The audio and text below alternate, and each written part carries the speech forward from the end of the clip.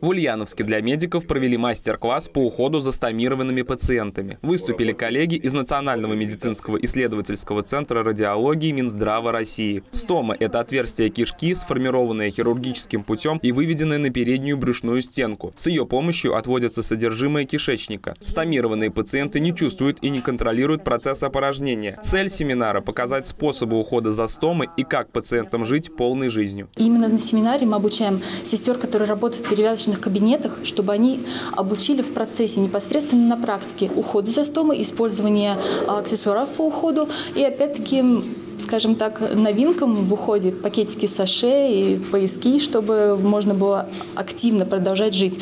А со стомой можно также ходить в бассейн, можно ходить на пляже. Это не мешает даже заниматься йогой. Самое главное – правильный комбинированный уход. Каждый тысячный пациент является носителем стомы. От этого возникла необходимость обучения медсестер правильному уходу за стомой, а также подготовки самих пациентов. Большой проблемой для пациентов является психологическая адаптация. Они и их родственники не знают о правильном уходе, а иногда и вовсе стесняются этого факта. Есть нюансы, о которых пациенты просто не знают до появления стомы.